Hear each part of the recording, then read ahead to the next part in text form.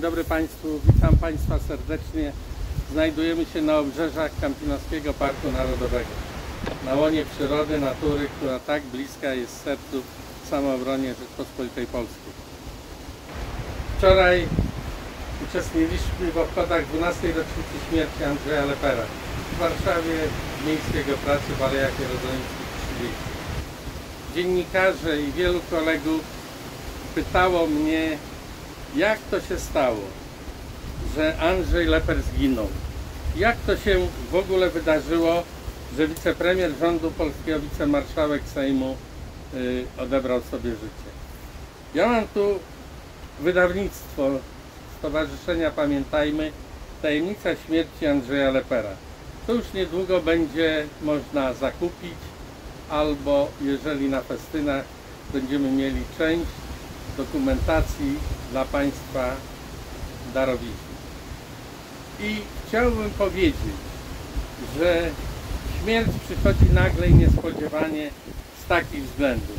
Mam tu przed sobą, proszę Państwa, porozumienie dwóch samoobron.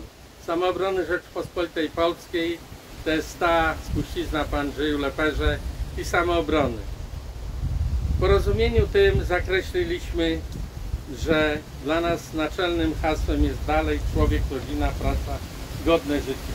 Postanowiliśmy utworzyć jeden komitet wyborczy, jeden wspólny front do wyborów Sejm, Senat i będziemy pracować nad kongresem partii zjednoczeniowych. Tak miało być. Miało być pięknie. Ale zdrada, zdrada wśród polskich polityków to najgorsze zło, jakie mogło zagościć na rynku politycznym. Nie ma wartości dla słowa, nie ma wartości dla porozumienia, nie ma wartości dla podpisu. Dlatego dzisiaj postanowiliśmy nagrać ten krótki materiał dla Państwa i powiedzieć, jesteśmy przeciwko takim porozumieniom. Jesteśmy przeciwko nieszanowaniu własnego podpisu, własnego słowa, własnego nazwiska. Nie zgadzamy się z tym i będziemy dbać, żeby w polskiej polityce takie rzeczy nie miały miejsca. Dlatego też będziemy Państwu propagować na terenie miasta stołecznego Warszawy postać Andrzeja Lepera z jego ostatnim, z ostatnią myślą przewodnią, z jaką w lipcu kończył działalność polityczną. Brzmiało to mniej więcej tak. Mi już brakuje słów. Ja w życiu popełniłem dużo błędów. Niekiedy powiedziałem coś za dużo i wtedy wszyscy krytykowali. Ale kiedy mnie zabraknie, to nastąpi cisza, a złodzieje w białych rękawiczkach będą rozkradali i rozkradali kraj. To były święte prorocze słowa wypowiedziane 12 lat temu i jakże aktualne dzisiaj. 18 maja podpisałem umowę z Janem Perkowskim, przewodniczącym Partii Samochodu.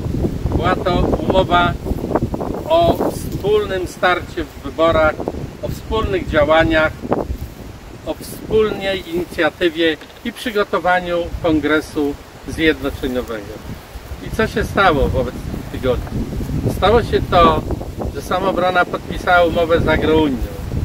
Podpisała umowę z Michałem Kołodziejczakiem, oddając mu praktycznie wszystko.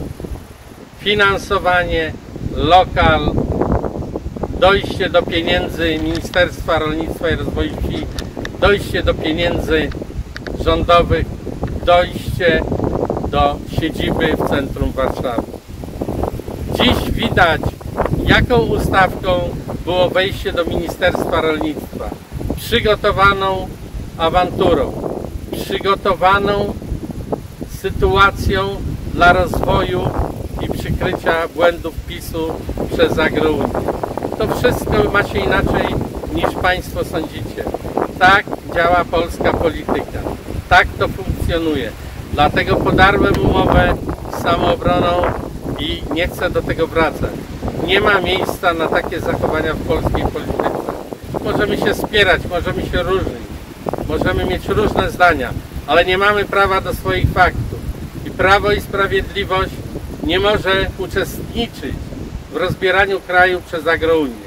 Nie można tego robić naszej ojczyźnie, Polkom i Polakom.